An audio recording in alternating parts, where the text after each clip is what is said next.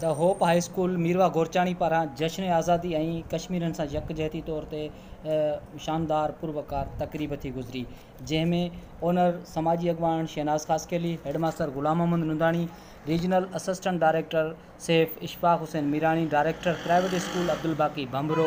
Abdul Raza Khaskheli town chairman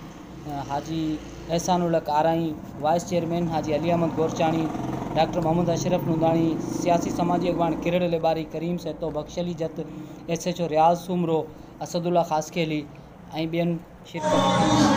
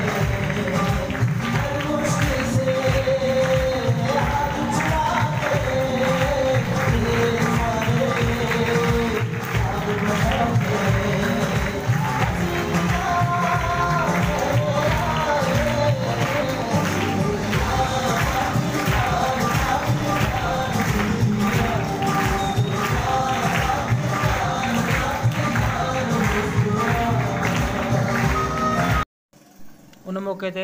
the hope high school Mirwah Gorchani पारां आयल मोज़िज़ महिमाननि खे सिंधी सकाफ़त अजरक जा तोहफ़ा पेश कया विया ऐं ॿारनि जे वालदेन ऐं सियासी समाजी अॻुवाणनि खे the hope high school Mirwah Gorchani पारां शील्डपुण पेश कया विया अमरजत अमर मीडिया टी वी कोट मीरस